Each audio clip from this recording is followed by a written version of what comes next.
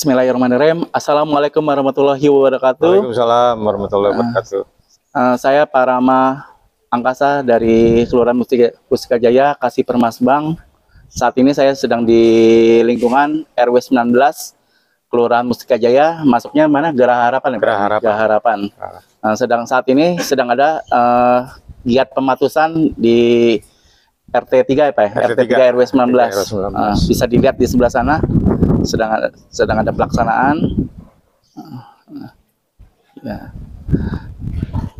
Oke. Sini lagi Krisna. Nah, perkenalkan di sini saya bersama dengan Pak RT 3 dengan Pak siapa Pak? Eh, Yudi saya Pak. Pak Yudi Iya. dengan Pak Mor juga dengan Pak Pak Krisna dengan Pak Hari dari DBMSDA sebagai koordinator di bidang pematasan ya. Iya.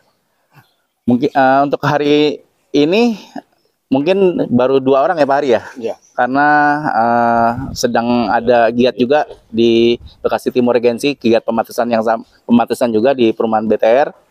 Mungkin nanti setelah berapa hari Pak Hari kira-kira akan ditambah lagi? kurang lebih minggu depan minggu depan ya paling cepat kurang lebih minggu depan akan ditambah lagi personilnya biar cepat pelaksanaan pematasannya di RW 19. RW 19 Mu- eh, mu- kira-kira hampir semuanya Pak yang di pematasan Kalau dari usulannya Pak RW itu Mm-mm.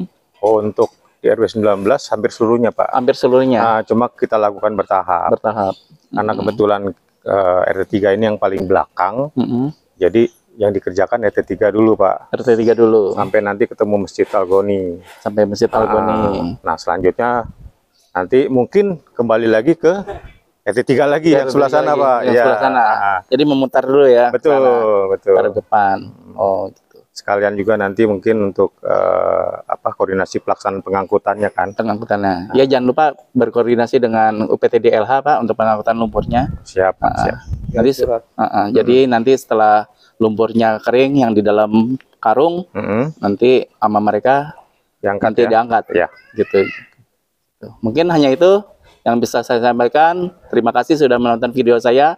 Terima kasih Pak RT 3, Sama-sama, Se- Pak. Mor, Pak Hari Pak dari Rama. DBMSDA dan seluruh uh, pihak yang membantu pelaksanaan kegiatan ini.